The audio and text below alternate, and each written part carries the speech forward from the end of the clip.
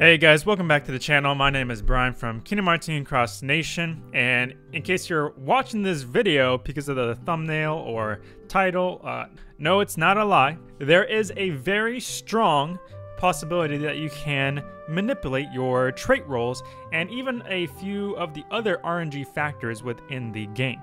Now, personally, I've been meaning to make this video for like the past month or two, ever since I first uh, found out about it, although there were a few reasons as well as to why I've kind of held off about it as like two. In case you're a regular viewer of my channel, you you should know by now that I I don't really like to how should I say um, give confirmation about things unless I've like tested it out myself or someone has posted out like actually like scientific type of like findings and, and posted their findings and like results and stuff uh, online in order to give it credibility.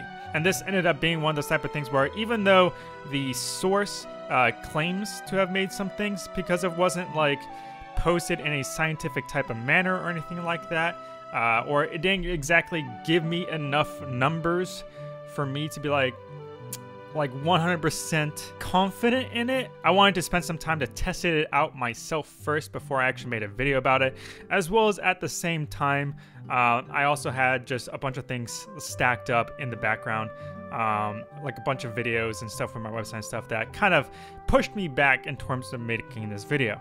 But without further ado, let's go ahead and jump into it and discuss how exactly you can go about manipulating your trait rolls. Now, the method I'm about to talk about with you guys was first presented by the YouTuber Spinebreaker.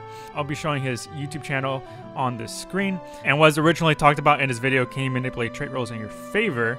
about a month ago, more or less. And essentially, the TLDR of the video uh, which I, I, highly recommend watching yourself, is that is that he mentions that he and Lost Predictions did about 500 trait rolls each, and they found out that if you roll your trait rolls during a even numbered time, like on the actual time, like a clock and stuff, okay, you have about a 60% chance of rolling a good trait roll which isn't the greatest number because you know that's still a 40% chance more or less of getting you know okay or bad trait rolls but at the very least it's a way to help improve your chances of getting better trait rolls such as extra attack, minus 60 traits, uh, raid boss traits and such. It's just a good way to help manipulate it, okay?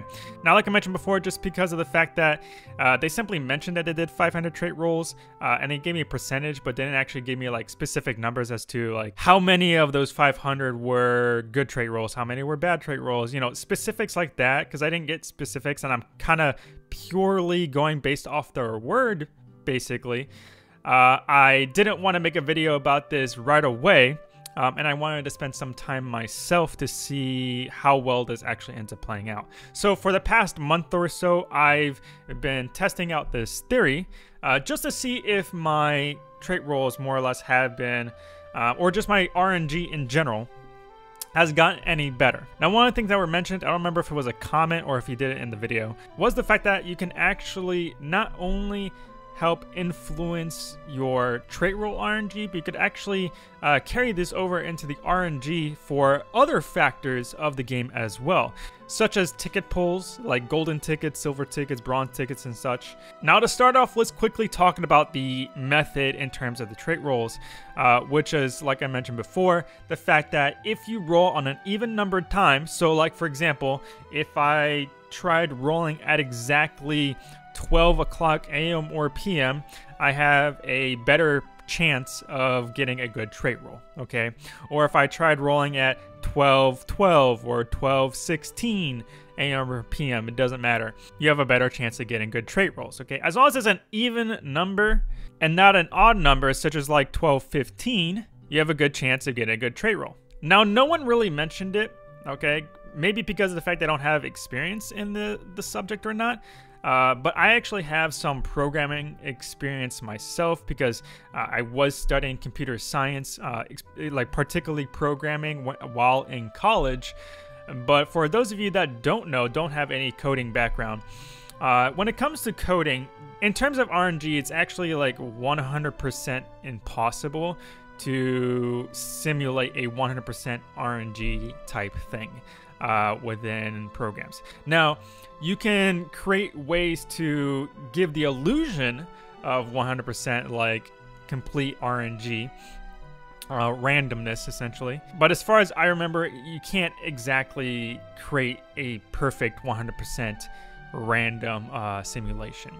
Um, and this is where algorithms and stuff come in handy. Although one main aspect, which is something that wasn't actually covered in Spinebreaker's video, is the fact that one of the main core things that uh, a lot of programmers actually use in their coding to as a core basis for RNG is actually the clock, okay, the world clock. And that alone, from my, my background knowledge of programming itself, uh, is what helped give this topic and video uh, validity towards the subject and why I can give Spinebreaker's video validity towards the subject and be like, yeah, I can believe that because of the fact that like I, I know this about coding. If you want to know more about it, I recommend looking up the term seeding uh, for RNG.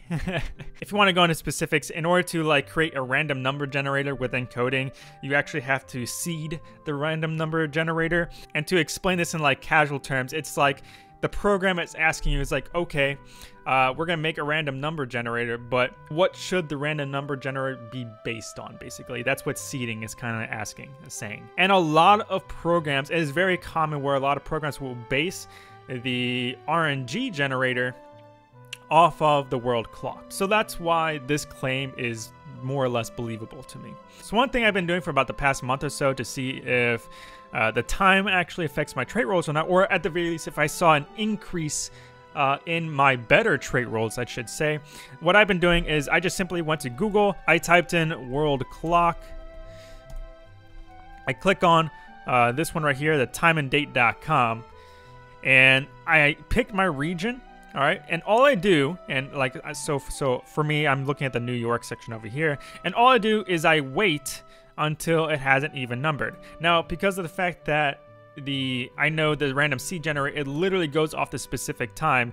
It doesn't show it on here on the website, but it will even base it off the milliseconds of the time as well.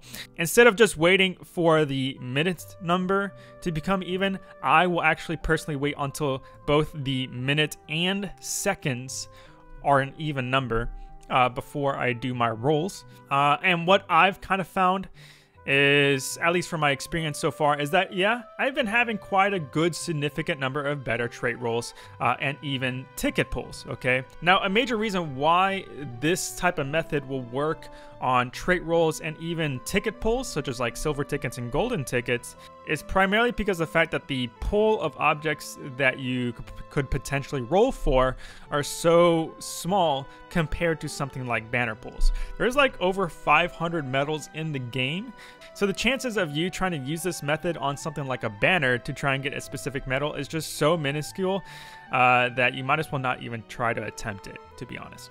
Now, personally for me, I wanted to try getting even deeper into this theory and try and see if there are specific times throughout the day that can give you very specific uh, trait rolls in and of themselves. So that way I could be like, oh, I want extra attack on this medal. I gotta wait till, I don't know, 4.16 a.m. in the morning at 14 seconds uh, in order to get that specific trait roll. I wanted to do something like that, but because of the fact that there are 10,800 different combinations of even numbers alone, and to make validity on that, like each of those tests, I would have to do at least like, you know, 100 to 200 tests for each specific combination as well, uh, which is already like over a hundred thousand different times I would have to test that. And I'm just not willing to spend my time to go about testing that. That would take way too long. That would literally take me like